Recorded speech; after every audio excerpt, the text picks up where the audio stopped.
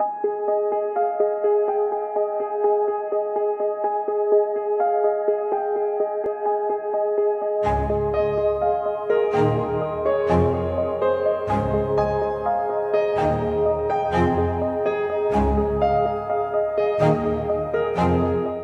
Uh, we're into September start. We've started to enrol learners here at the college.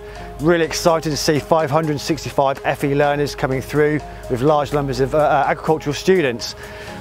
This facility here is literally two to three weeks away from, uh, from opening and it'll be a fantastic facility for those learners who, who are here with us now to be able to start transition through and start to see the benefits of, uh, of its ability and the capabilities.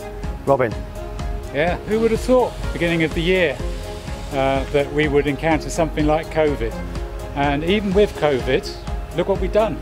It's spectacular. We've got a great build team, we've got inspirational partners. We're really looking forward to working with the farming sector, with the innovative companies, and with agencies of government to take this beautiful building forward.